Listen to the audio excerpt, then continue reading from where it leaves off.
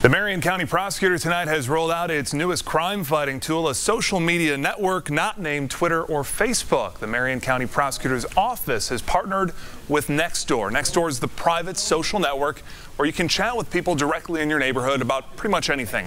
Garage sales, property damage nearby, you name it. Now the prosecutor says his office will use Nextdoor to help people right here in Indy catch criminals hard at work in their own neighborhoods. We are the first uh, prosecutor's office in the Midwest to be approved as an agency partner on Nextdoor, and we are the first in the country uh, to be approved as part of the collaborative effort uh, involving our office, the prosecutor's office, the mayor's office, and IMPD. Curry says it will let the prosecutor's office interact more closely with 100,000 people in Marion County alone already signed up with Nextdoor.